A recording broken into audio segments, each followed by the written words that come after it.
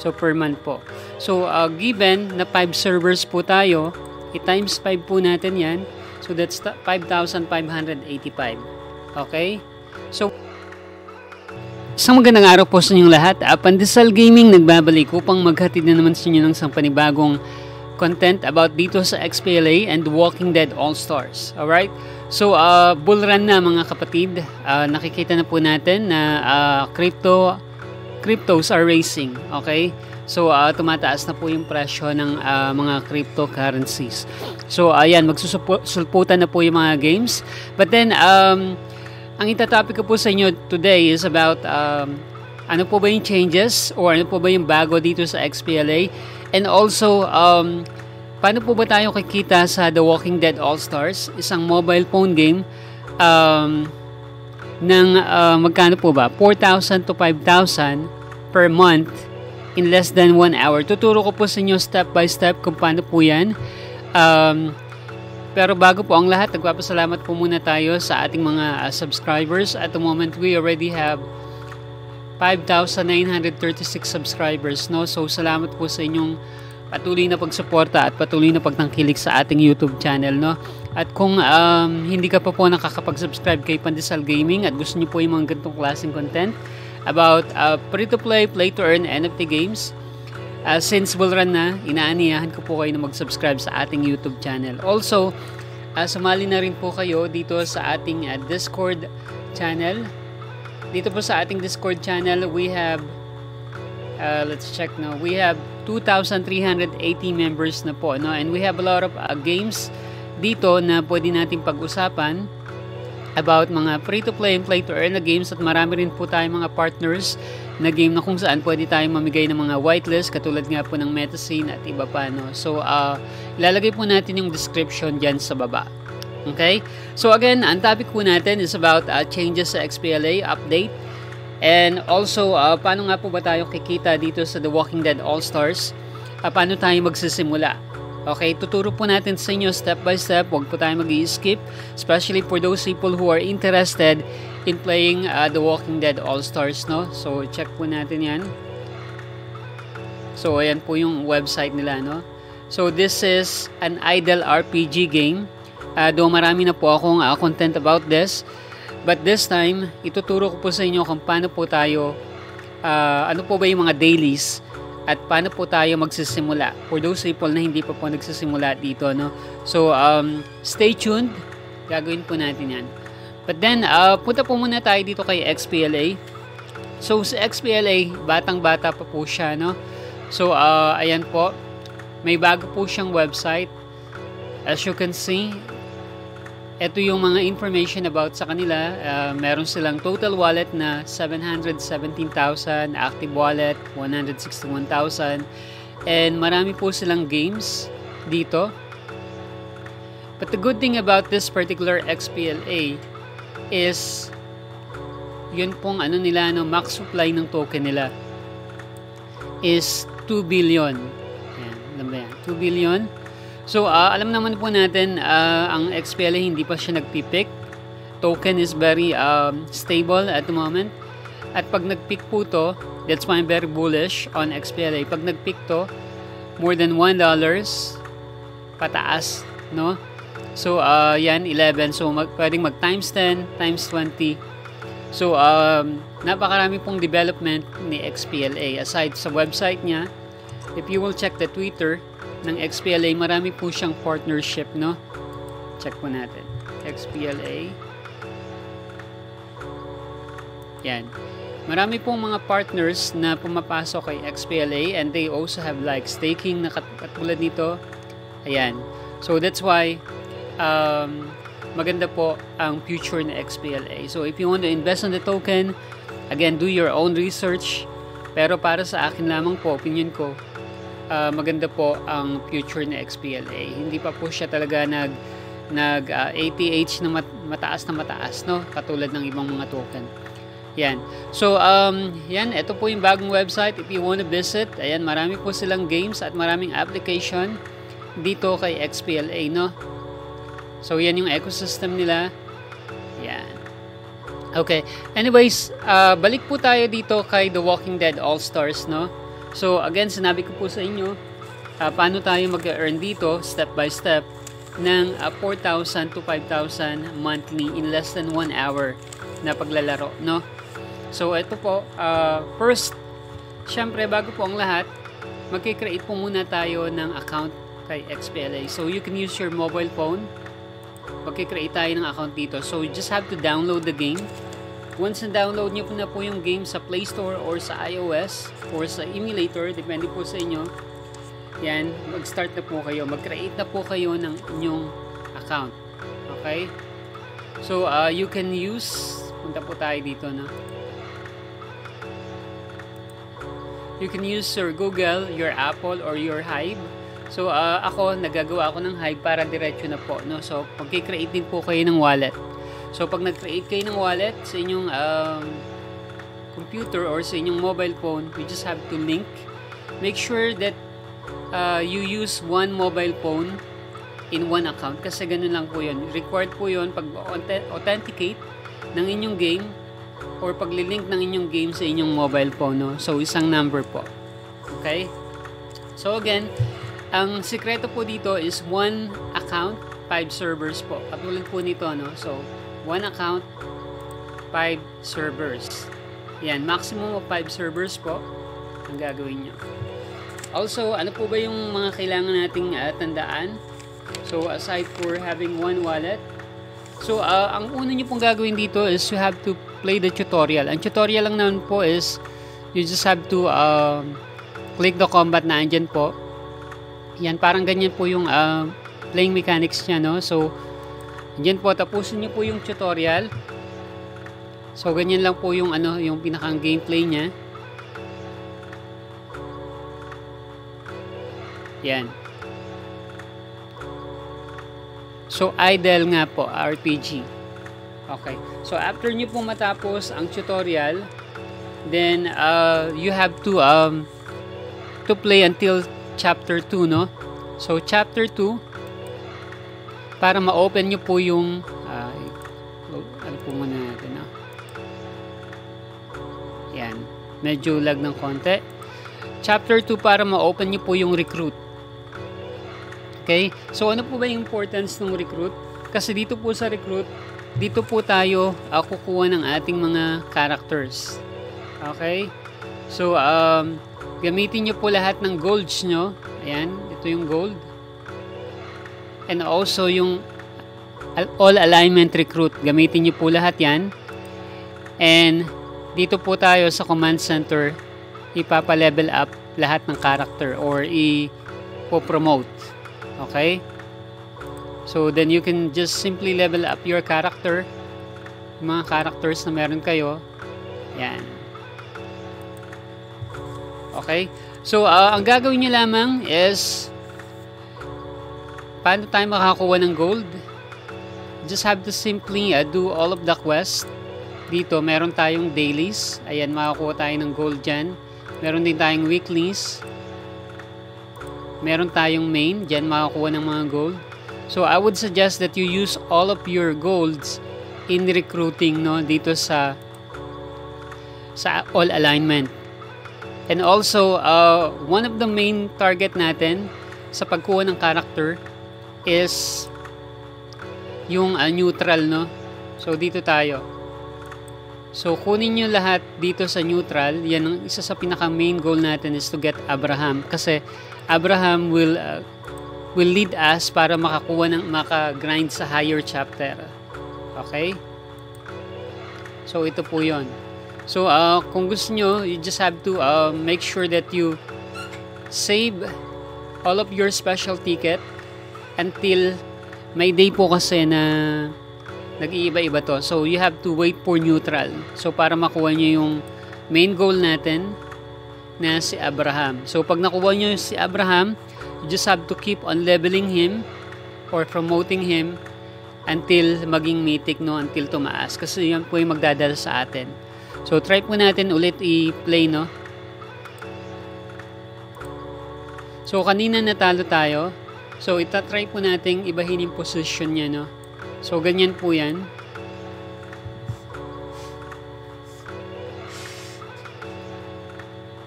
So, uh, positioning is the key. Kaya, uh, kailangan nyo paglipat-lipatin or sometimes you have to use different uh, characters.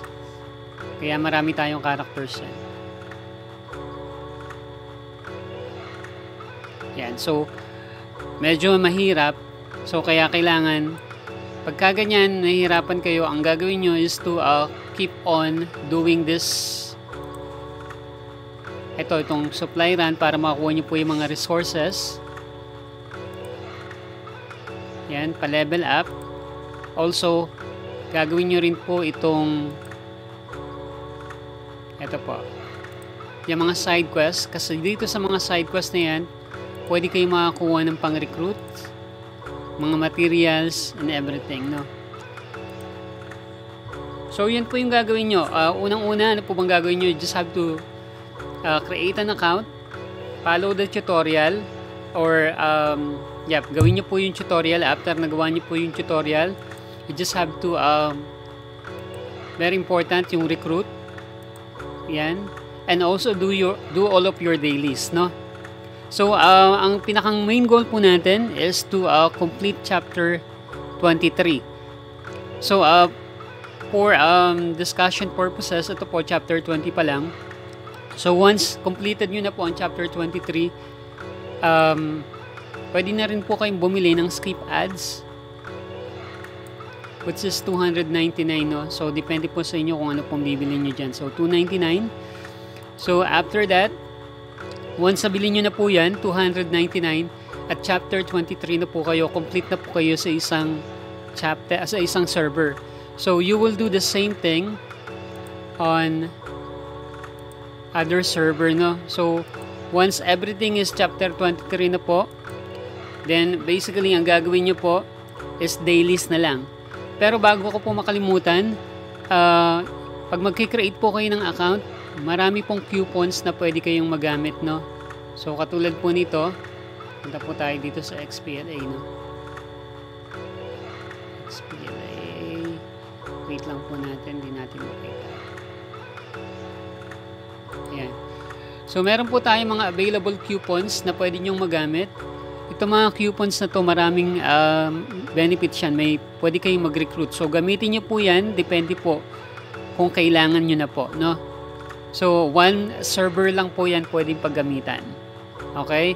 So, kung tingin nyo itong server na to, kailangan nyong gamitan ng coupons, then it's up to you. So, paggamit mo ng coupons, just have to click on account and click on redeem coupon. So ilagay nyo po yun, then you will get yung mga benefits no. So I believe um, more than 70 recruits po yun. So magagamit nyo po dito sa pagkuha ng characters. Okay? So um, ngayon, if everything is goes well, chapter 23 na po kayo or pataas or kahit, uh, depende po sa inyo kung gusto niyo chapter 18 pa lang, walang problema. So, pupunta na po kayo dito, tatapusin nyo lang po ito. Ito na lang po ang gagawin nyo every day. Kaya sinabi ko less than 1 hour, no? Nakikita kayo ng 4,000 to 5,000. So, ito na lamang po ang gagawin nyo. Pupunta po kayo sa safe room. Ito, ma-unlock nyo po yan after uh, chapter 3.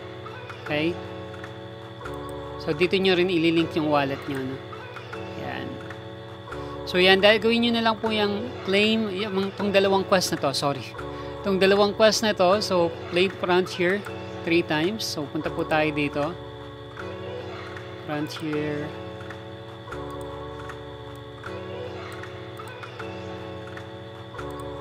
So click natin yan. Punta tayo dito sa mas madali. So yan, uh, tatlong beses natin gagawin yan. So para makita nyo na yun na lang gagawin nyo, no? Uh, once naging okay na yung lahat ng 5 servers nyo.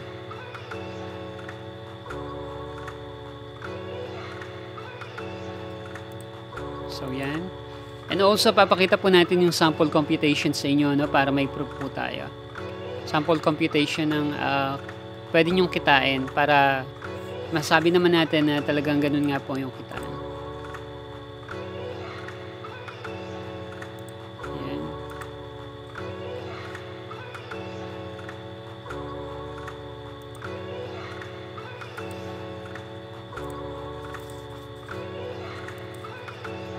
So yan, uh, tapos na yung isa, no? So, ang susunod naman po na gagawin natin, and complete na claim all daily rewards. Normally, yan po yung ginagawa, no? So, ang gagawin niyo lamang po dito is, yan, nag-play na tayo ng frontier. Level up one character. So, any character na gusto nyo.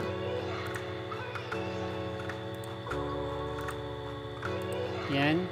Enhanced gear. Yun. Taasin lang natin yung uh, enhance lang natin, no?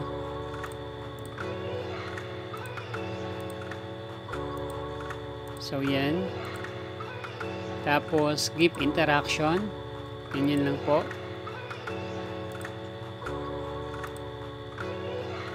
And claim nyo. Tapos, recruit one character. Pwede na yan.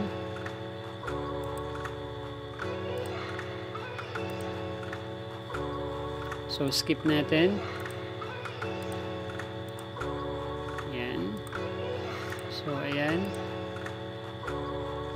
Tapos, dispatch.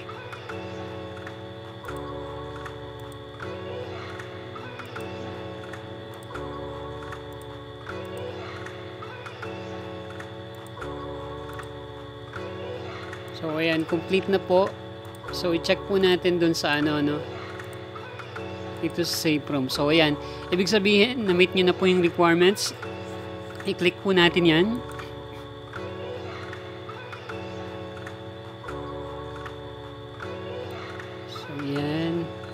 Verification, no? Yan po. Then, click on submit. Then, after that, uh, that's the time na magbubukas po tayo ng mga skip ads, no? Pag po muna natin i-click to, So, ang gagawin po natin, first, dito, turo ko po sa inyo lahat ha, uh, yung iba po po hindi pa po lock, uh, unlock sa akin, kaya uh, hindi po tayo, hindi pa kompleto yung sa atin. No? So, just have first, yan, punta tayo dyan, join combat. Na-highlight na po natin. And ito po yung unang skip ads. As you can see, 40 lang po, may nakuha po tayong 40, no? Pero, ang totoong uh, nakukuha po natin per ads na key points is 734 pa lang. Pero kung chapter 23 ka na pataas, you will get 1,006. Okay? So, tuloy po natin, no? So, nakuha na po natin yan dyan. Punta naman tayo dito sa trading house. Ayan. Skip na po natin. Uh, recruit, recruitment house pala, sorry. Dito may dalawa, so uh, may headhunt din tayo. So to times 2 yan, every 2 days po yan. Just have to click that. So ma-unlock nyo yan 1640. So that's why it's very important na mataas po yung chapter nyo. So click po natin. So yan, 80. So punta po tayo dito para makita natin. Oh, so yan, 2,936 na po. So yan, uh, dito naman tayo pumunta. Tapos ito, tanggalin natin yan kasi may additional skip ads yan.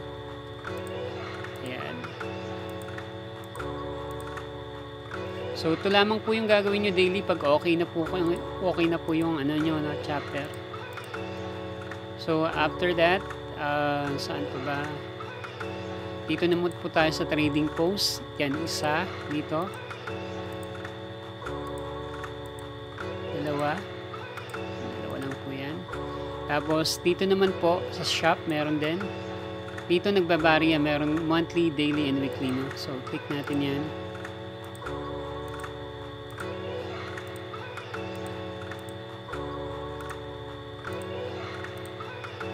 Natin yan. Ito, mamaya natin po yan. So, uh, yan. After nan, saan po ba tayo po, pwedeng pumunta? Uh, punta naman po tayo dito no, sa explore. So sa explore meron tayong isa dito. Dito sa supply run, meron ding uh, dalawa no.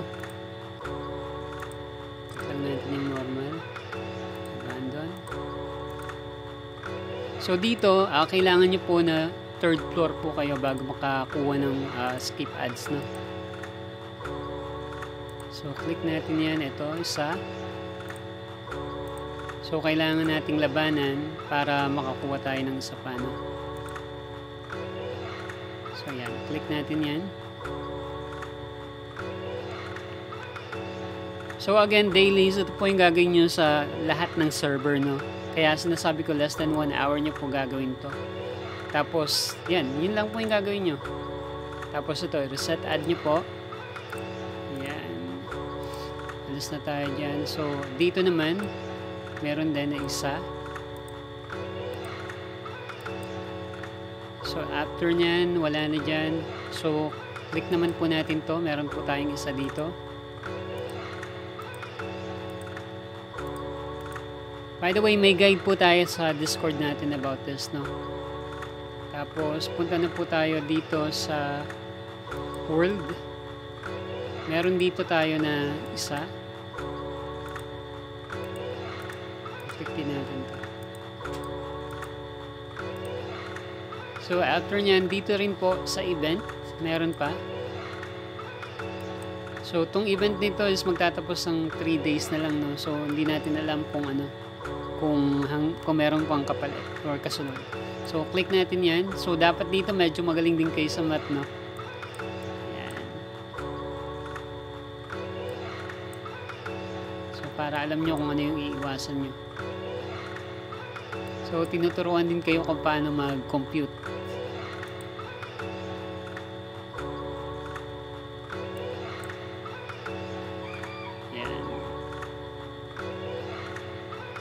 So, itong maganda kay XPLA, natututo ka sa iba't ibang bagay, no? I mean, kay The Walking Dead, yan. Okay.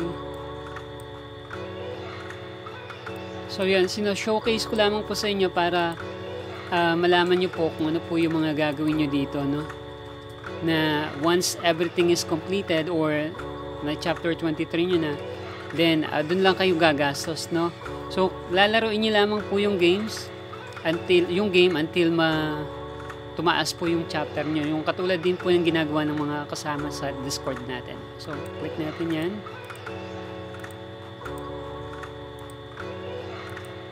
So, isa pa.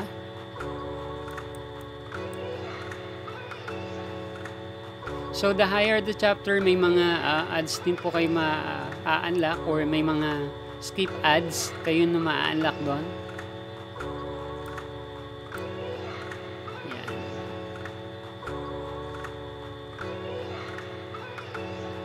Yan. So, medyo mahaba tong video, no? I just want to, uh, kaya step by step po yung binibigay natin sa inyo, no? Para at least alam nyo po yung gagawin, no?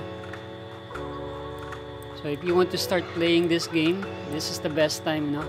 Uh, actually, anytime naman po pwede po kayong uh, maglaro nito. So, uh, wal, di naman po to katulad ng iba na pag nahuli kayo, wala na.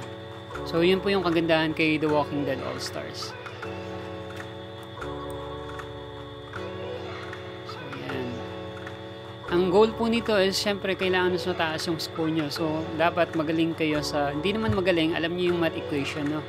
Or alam nyo kung saan kayo pupunta na multiplication, division. So yan, tapos na po natin lahat ng, uh, yun lang po yung gagawin nyo. Uh, after nyan, gawin nyo sa other servers, no?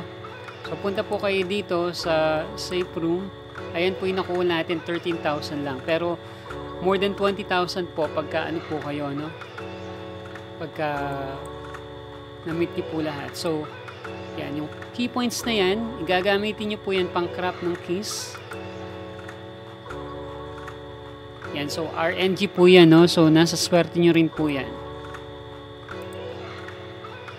So, pwede nyo i-open yan, unlock.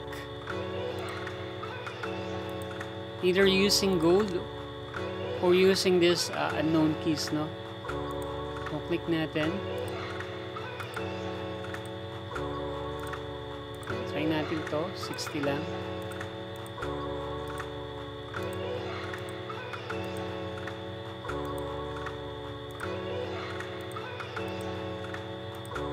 Showcase. Ayan.